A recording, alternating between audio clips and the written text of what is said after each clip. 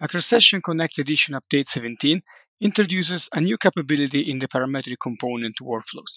This is the ability to edit a component in context or in place. This means now you can right click on a parametric component and then select the Activate Component option. You're then presented with two choices. You can create a new component, meaning the parametric uh, component definition will be copied uh, you will assign a new name to the new one and will spin off a completely different part. Or you can edit the uh, current component definition, which means you won't have to change the cell name. And whenever you're finished with your modifications, you will be updating all the uh, other instances of the same component in these DGN files. So now we have activated our parametric component.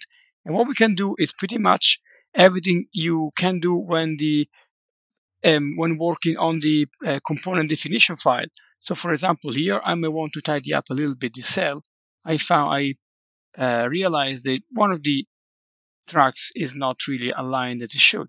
So there you go. I can just move it to where it needs to be and just accept. Or for example, I may have forgotten to create uh, some holes for uh, running some cables or something like that in in my uh, in my track structure. So I can just select as I would normally do my hole feature, select the diameter of my hole, the destination uh, solid. As you can see now, we're actually accessing the solid inside the cell. We're not working on the cell as a whole, on the actual elements. And there you go. I'm going to put one hole here and another one in here. Positioning is prob- the position is probably not uh, great, but it will help us to understand how the feature works. So this feature will really help into um, getting the most out of your content. It will make it much easier to repurpose and reuse, recycle your existing content.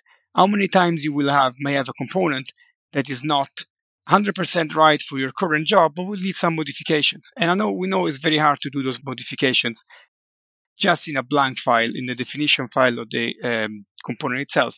You need to be able to access the context in which the component will be uh, will be used. You might have to snap or align it to some existing um, some existing elements. So now you can do that. You can place your existing uh, component, activate it in context, do all your modification, and as you've seen, you just click on the activate component whenever your changes are completed.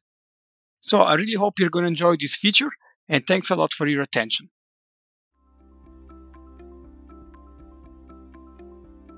If you found this video helpful, please give it a like. If you want to see more such series, consider subscribing to our channel. Thank you and see you next time.